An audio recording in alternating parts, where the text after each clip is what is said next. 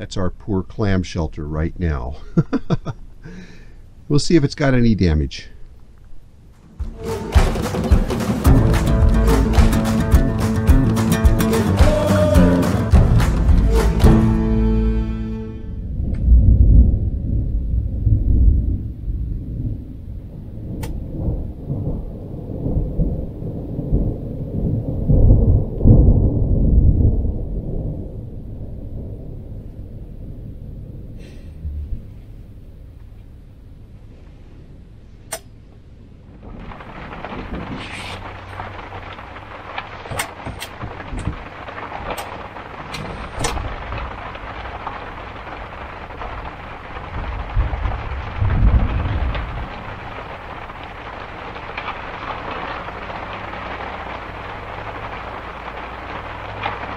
Sure rains a lot in the desert.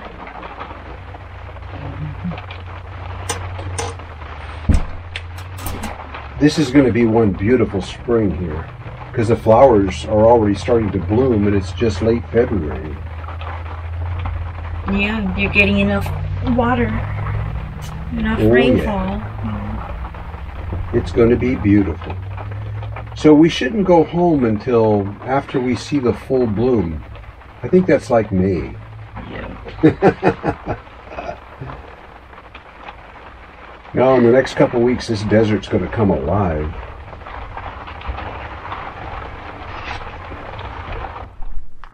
Well, good morning. Linda and I are still up Craggy Wash up above Lake Havasu City. And man, did it rain yesterday. it just, at times, it just poured. That's going to bring this desert to life. It's already blooming. There's flowers everywhere. But uh, in the middle of it, we had our clam shelter up, and it was nice to be able to go in there and get out of the rain. And there wasn't any wind. But just about just before dark last night, we got hit by a thunderstorm, and the wind picked up, and it picked our clam shell up and knocked it over on its side, and we had to run outside, get soaking wet, and and take it down. Luckily, they they you know just all you got to do is collapse the panels, and they collapse right away. So that's what we did is we we collapsed it in place and then put a water jug on it to kind of hold it down. But uh, I want to check it out this morning and see if it's damaged at all.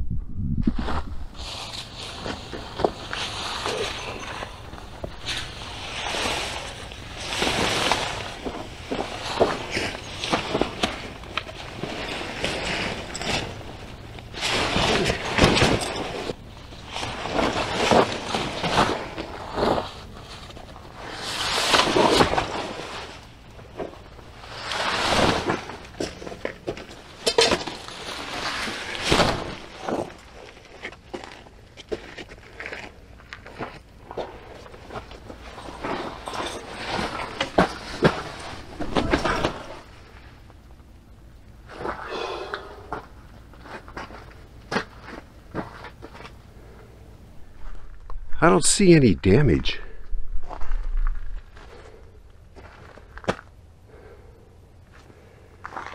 No rips, no tears, no broken pieces or anything. I think it's all right, but lesson learned. If there's any chance of a thunderstorm, take it down. I knew they don't stand up to uh, high winds, but uh, we went from calm to, I don't know, maybe a 40, 40 mile an hour gust or something. It really blew.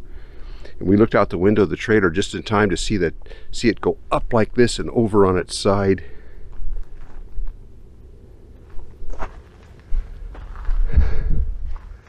Other than the fact it's all covered with sandy grit, I think it's all right. I'll check the tie downs and the grommets and see if any of those are ripped out. But I think it's all right. Well, incredibly, none of the grommets were torn. It's got no damage at all. Woohoo! Because we really like it. it's been working out really well for us. Protection against the bugs and against the rain and just the light breezes, you know, when you're trying to cook on a propane stove and it keeps blowing the flame. Well, we cook in there and everything's fine. So what a beautiful morning. In case you're wondering, this is what I had it staked down with, the clamshell, clam shelter. They were driven in all the way too.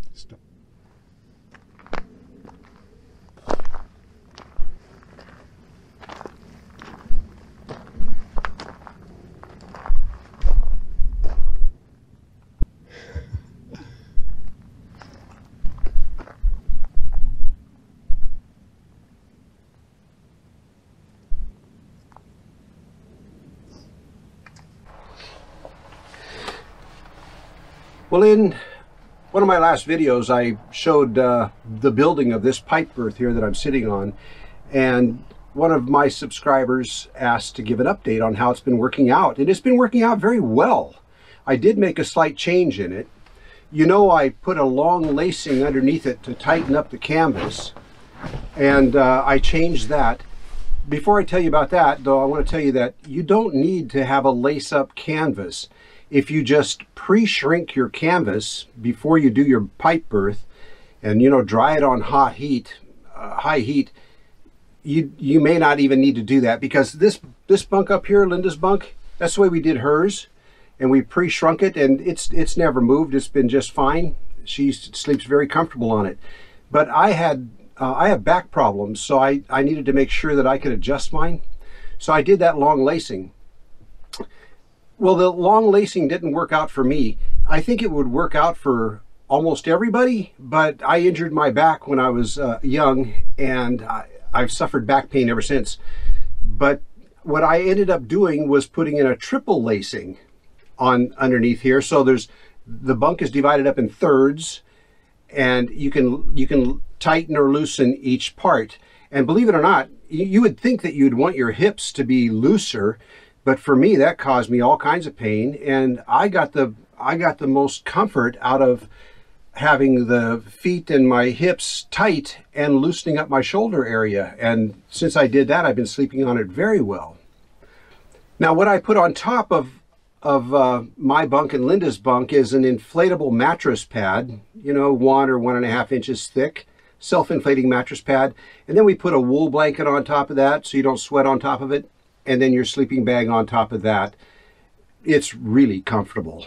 I like the fact that these bunks are so lightweight. They didn't add any weight to the trailer. They're you don't have any heavy 2x4 and plywood structure or anything like that.